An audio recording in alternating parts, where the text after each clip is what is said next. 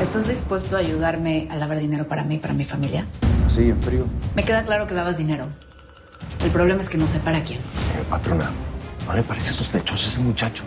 Digo, ¿está usted segura de que es su hijo? Sin medicamentos, sí, ya. A ver, mi amor, te tienes que tomar este juguito por lo menos, ¿sí?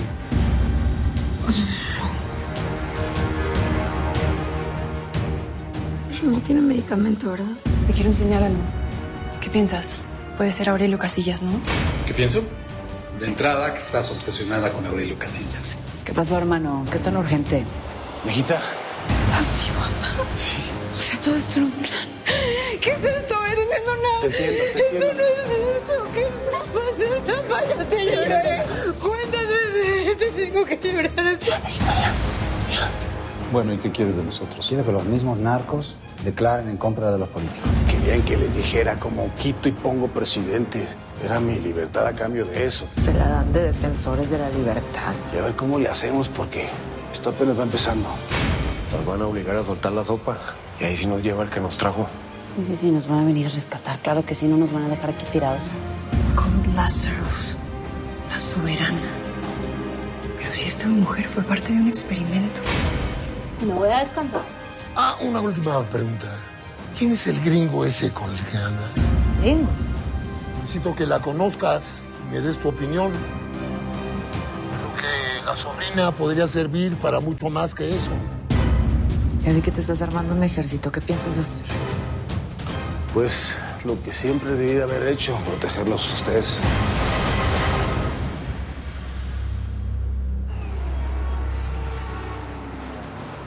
Bueno, lo importante es que ya estamos juntos otra vez, ¿no? Ah, amigo, mira. Y que la Ruti pudo salir del hospital sin ningún pedo, ¿eh? Pues es que no me servía de nada ponérmela de pechito al policía ese Alfaro.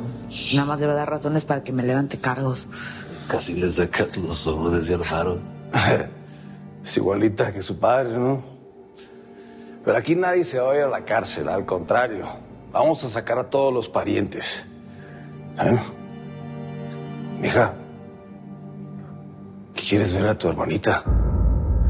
El Greñas está buscando una buena funeraria para enterrarla como se debe, pues. ¿Quieres verla, mija? Prefiero recordarla como era. Y estuve con ella cuando se murió. Y pues ya no pude verla crecer, no, no pude salvarla. No se me hizo con tanta longa, pues.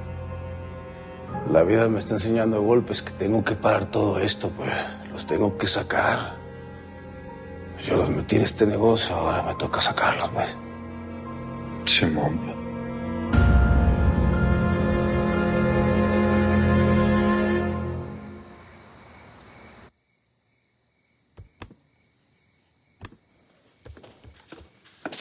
Pero Milao, ¿qué haces metida en la computadora tan noche, mija? ¡Qué horror! Es que estoy viendo las novedades en equipo médico para el hospital. Y me acaba de aparecer un artículo sobre mi profesor Elías Esperaza. No se puede desaparecer así porque sí. Ay, mija, ¿cómo crees que se desapareció? Claro que no. Seguramente anda con una enfermera por ahí apachurrándosela, cuchiplanchando, no sé. ¿A poco tú nunca te echaste un compañerito? ¿Nunca te planchaste a un doctorcito? Ay, no seas santurrona, cuéntame. Ya sabes que tu suegra es... ¿Quién habla? ¿Qué onda, Laura? Soy Corina. Hoy he estado tratando de comunicarme con Ismael, pero nomás no me contesta. No sé, ha de estar en sus asuntos. Pero ya que hablaste, quería ver algo contigo. Es sobre el médico que vio a don Aurelio, ¿lo ubicas? Sí, sí, el doctor Elías de Esperaza. Me acuerdo de él perfectamente. ¿Por qué? Pues desde que lo atendió nunca más volvió a aparecer. Ay, no, mijita, yo le digo que ni se preocupe, que seguro si anda apachurrando a alguna enfermera por ahí. No, pues déjame ver qué averiguo. ¿La familia puso alguna denuncia? Sí. Su mujer fue al Ministerio Público a ponerla. Ok. Si averiguo algo, te lo hago saber, sí. Laura, por favor, si te llama Ismael, dile que se comunique conmigo. Me urge hablar con él. Tengo algo muy importante que enseñarle. Yo le digo. Muchas gracias, Corina.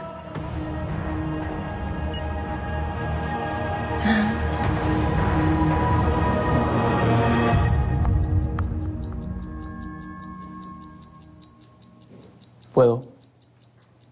¿Sabemos algo de la felina? Tenemos monitoreados todos los aeropuertos privados, también las líneas comerciales y no ha salido por ninguno. O sea que sigue en México.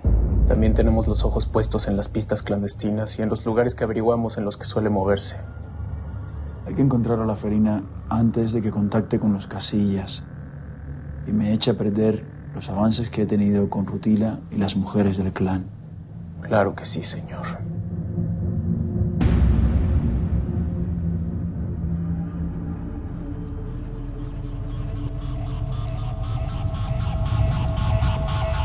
Ruti, ¿y qué trance? ¿De dónde sacaste ese abogado que te liberó qué? Fernando Aguirre, el, el millonario con el que estoy trabajando para poder lavar dinero ahora que la felina no está. Sí, sí. El día el Ismael me dijo cómo están las cosas y eso de que no aparece la felina.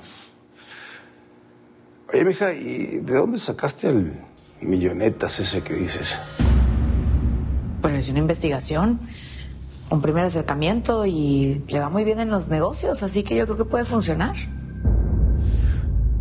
A ver, a ver, mijita, yo, yo te conozco muy bien. Somos casillas, ¿no? ¿Qué onda con el Super Javi? ¿Traen problemas? ¿Ya estuvo con él o le estás poniendo el cuerno? Dime la neta, mija.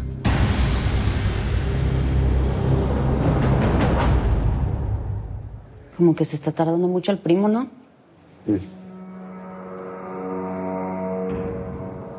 Señores, eh, ya no es necesario que estén aquí en el hospital. Eh, los últimos análisis de sangre dan resultados normales, entonces ya está todo bien. Ay, ay, apa, es de verdad que estamos hablando de esto.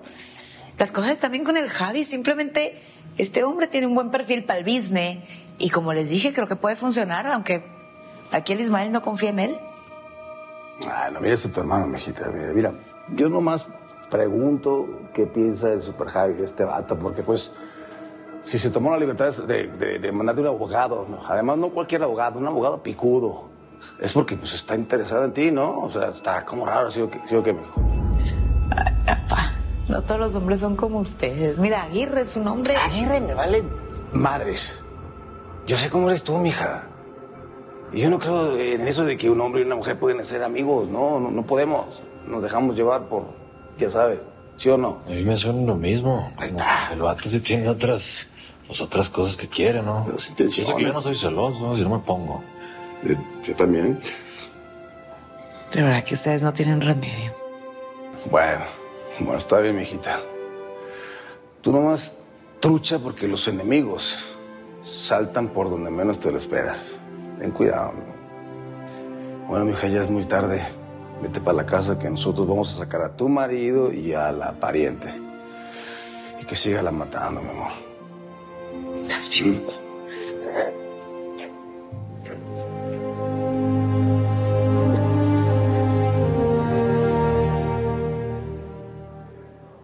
Doctor, Dígame.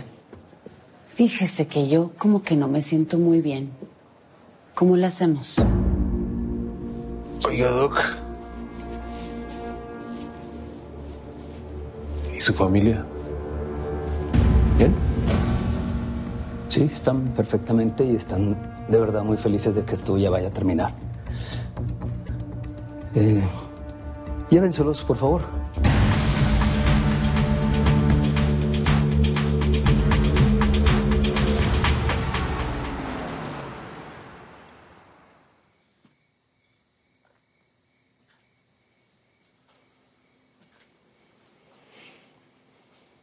¿No puedes dormir, no? ¿Puedo hablar con vos? ¿Cómo te sentís? Pues hay días en los que mi cabeza está bien y otros en los que no, como hoy. Es que estás pasando por un proceso muy perraco, mi amor. Pero yo te juro por lo que más quieras, que sos vos mismo, que yo te voy a acompañar en tu recuperación, ¿oíste? Te lo juro.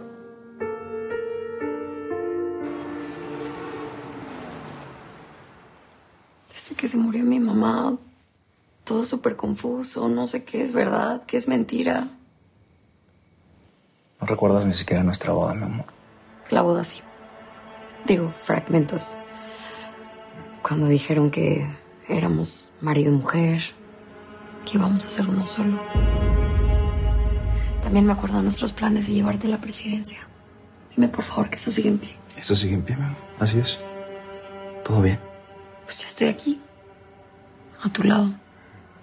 Solo prométeme que no me vas a volver a dar ese medicamento, ¿sí? Lenny, eso no depende de mí. Solo quiero recuperar mi felicidad contigo.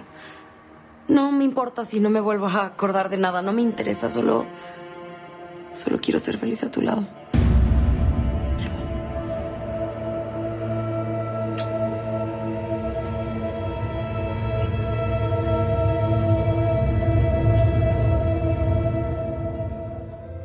Les pido que se tomen hasta mañana para pensar en la propuesta que les hice. Si me disculpan, tengo otra reunión. Señores, buenas tardes. No esperaba encontrarlos aquí, pero yo creo que lo que les voy a mostrar les puede parecer interesante. ¿Qué te traes? Un muerto que resucita. Aurelio Casillas, levántate y anda.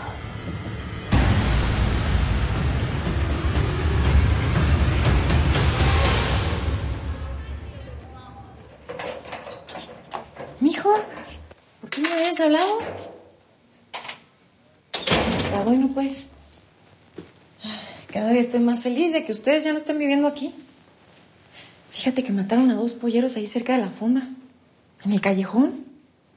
No, no, no, yo estoy bien. Pero pues aquí las cosas cada día están peores. Ay, mijo, dale con la misma cantaleta. Tú y tu hermano siempre diciéndome lo mismo. Yo no necesito ninguna pareja. Tener un hombre al lado no me va a resolver nada.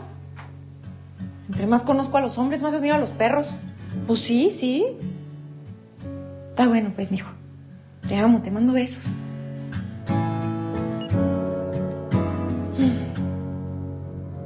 Mira, resuelvo unas broncas que tengo en la capital y nos vamos a, un rancho.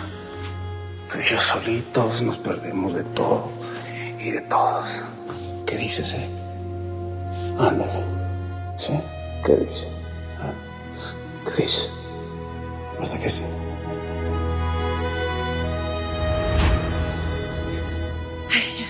Echa la cruz.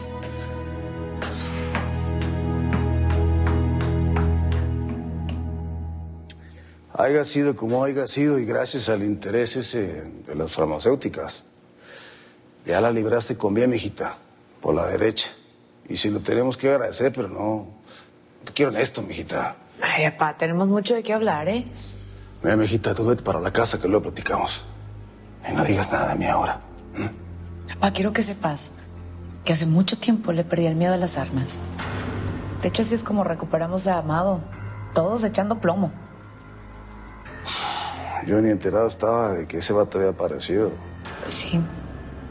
Se portó como nuestro tío que es. Sí, mijita. Pero pues era tira, DEA, FBI, quién sabe qué fregados. Le llamaban el águila azul, yo creo que por policía. Bueno, papá, ya no. Todos estábamos haciendo lo mejor que podíamos sin ti. Eh, Además, también sacrificó su vida. pues sí, se le agradece el sacrificio. Papá, tú muy bien sabes que yo prefiero no usar las armas. Pero si tengo que hacerlo, sé cómo manejarlas. Así que cuenta conmigo, ¿ok? Pues yo voy a hacer todo lo posible para que no lo hagas. Es lo que más quiero, mijita. Ya se me fue mi luz, man. Solo me quedas tú, mi reina. Ándale, mija. Ya vete a descansar. Sí,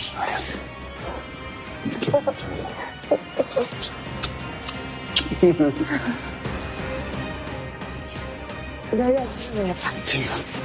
Yo también, mija.